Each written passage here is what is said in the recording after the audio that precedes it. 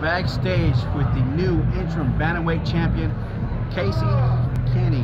How are you feeling right now? Uh, I'm feeling great, man. I'm on cloud nine. You know, uh, shit, you can't can't beat that, man. First round knockout. I mean, champ, champ. I didn't even take any damage. Didn't even have to open up this nice cut I got on my forehead. You get the opportunity to get to get this fight with the Miles Johns injury. You're the the flyweight current champ right now. Now you're the bantamweight champ. What's next? Dana White, Sean Shelby, Mick Maynard, they're listening if they're watching right now. What's Pay me! Pay me! I am the I've done everything. Right? Give me my contract. I'm ready to take out everybody in the UFC. You move up to 11 and 1 now. What was the game plan against Vince?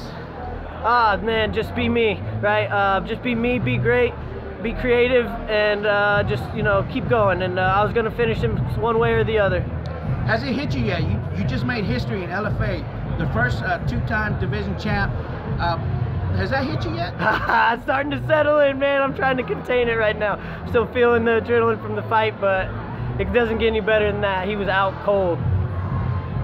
Anybody you want to give a shout out to? Any thanks? Oh yeah, of course, man. Uh, always, you know, Chris Carriasso, Rise Combat Sports, John Crouch, the MMA Lab. Those guys got me ready to rock all the time. You know, uh, the week before I was in a wedding partying with my uh, my cousins and celebrating, you know, some good stuff there. But I'm always training. You know, one weekend off doesn't hurt anything. As you can see, I'm, I'm sharp as a tack always.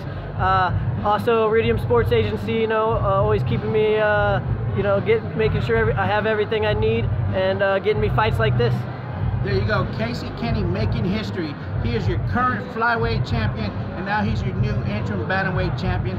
First time in LFA history, two division champion Casey Kenney. Congratulations, man. Go out there and celebrate. Appreciate the time, man. Thank you. Thank you.